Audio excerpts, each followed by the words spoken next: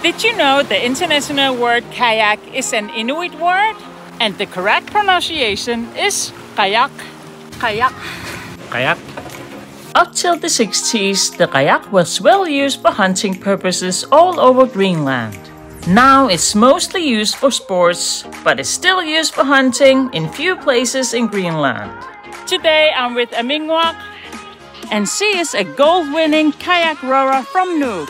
I will now tell you how the real kayak is built.